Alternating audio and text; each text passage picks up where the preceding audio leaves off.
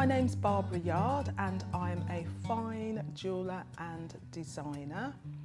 I got into jewellery making literally by accident. Met some people at Portobello Road because I used to sell there. Used to be making all sorts of things like mosaics and cushions and things like that. And I met a jeweller at Portobello Road. She told me about making jewellery and I was really fascinated. And I went off, found out some information, did a foundation course, then I went off and did an HND and I've been making now for nearly 14 years. Wandsworth is a really lovely place. It's a very green place. I've lived in Wandsworth all my life. First I lived in Southfields, then I moved to Tooting. I live near a common, so there's loads of open space, lots of inspirations in Wandsworth, especially just walking around and seeing things. So it's just a really nice place to get out and about really. I was lucky enough to take part in Recreate 21, which was a really good business program. Just helped me look at my business in a different way. It's quite difficult sometimes when you when you're on your own running a business because you're the marketing you're the accountant you're the designer you're the instagram person you're the facebook person and sometimes you do forget some things or some things just fall to the wayside. So it's nice for these types of programs to help you focus on certain things and just pull yourself back to getting into what you really were meant to be doing in the first place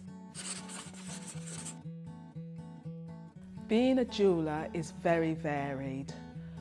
I usually I work with lots of commissions, private clients, and I also do trade shows and shows for the general public. My favourite thing is commissions with private clients. Normally the client will come and visit me at my studio.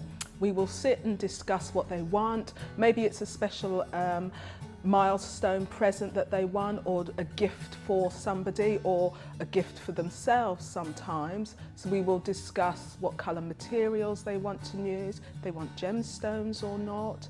I'm quite lucky, I've got a lovely array of gemstones because I was lucky enough to go to India and go to a gemstone dealer so I collected a lot. So I'll show the customer those, my client those first of all.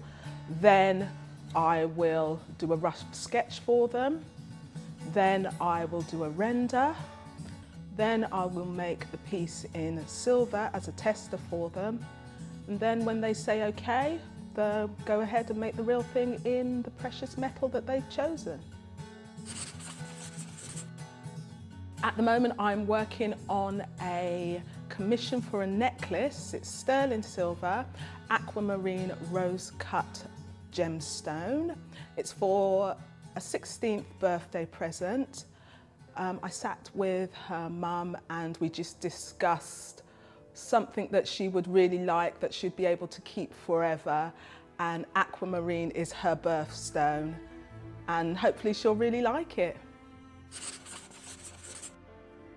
The main responsibility of a jeweller is communication with your client. Make sure you know exactly what they want, that you and your client are both on the same page. That's why it's really good to do an actual physical drawing of your piece. And, and like I said before, it's really great, even better, if you can make a physical piece. So, because you're working with precious metals, you're working with gemstones and you, and you really don't want to get it wrong and you don't want a disappointed client. Being a jeweler, a, lot of people don't have any qualifications and some people just fall into it. And, and that's really great if you can do that. But I know for myself, I needed to be able to have a qualification because my artistic background really wasn't there at the beginning. So I did a foundation course, then I did an HND, and the HND was really good because I sat at the bench from day one. All of the work I did was at the bench. It was very, very little theory, which I was really pleased with. Then after I'd finished my HND, I went to work for a well-known jeweller for two years and got my skills going with that. That's where I started really working with gold. I've done a few courses with the GIA. They're a Gemology Institute of America and I've just really kept up my skills because things are changing all the time so it's just nice to keep up your skills and get do different courses now and again. How to do really good renders which are high quality drawings of your jewellery. I've just realised, and this is after quite a while, that customers actually want that with their piece. So now I will always do a high-end render with the piece that the client has ordered. Working with Alexander McQueen on a collection because I just think they're absolutely fantastic. Or actually any of the fine jewellery houses, them giving me a call and saying, Barbara, we want you to design our latest collection. That would be my dream job. My role model is Wendy Ramshaw. She doesn't do traditional jewellery, it's very sculptural and architectural, but it's absolutely stunning. Don't give up.